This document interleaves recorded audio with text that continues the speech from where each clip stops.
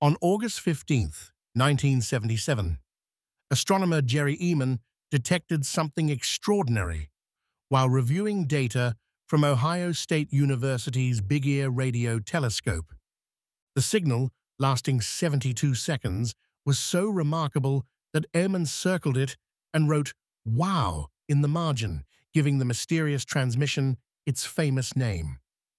Coming from the direction of Sagittarius, the signal's strength and frequency exactly matched what scientists expected from potential alien communications.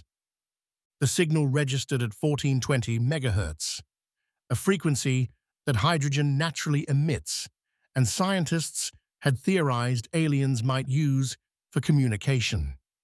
Despite decades of searching and countless hours of telescope time, scientists have never detected the signal again, making it one of astronomy's most intriguing mysteries. To this day, the WOW signal remains one of the strongest candidates for potential extraterrestrial communication ever detected.